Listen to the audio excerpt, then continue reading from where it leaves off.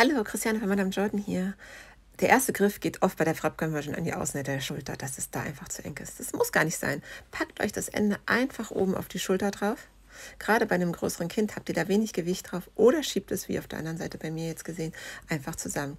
Aber das Schöne ist, wenn ihr das schön auf den Knochen an die Außenseite packt, dann habt ihr nämlich am Dicht am Hals keinen Druck. Viel Freude!